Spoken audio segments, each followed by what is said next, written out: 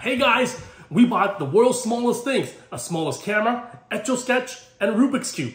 Let's open them up and have some fun. How do you guys get this? Like, this is crazy nuts. Yeah. By the way, Here's the world's smallest camera. whoa. Let's take a look. Say cheese. cheese. Whoa, that's cool. Let's open up the world's smallest Rubik's Cube. Ooh, this is a good one. What? All right, the world's smallest Rubik's Cube. I never knew how to do one of these, but one, two. Let's see if we can figure this one out.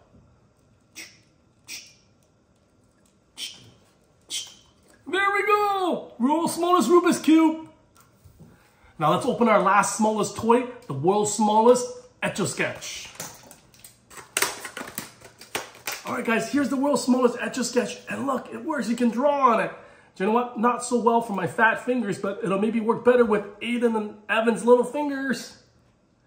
World's smallest camera, Etch-a-Sketch, and Rubik's Cube. Like and And subscribe!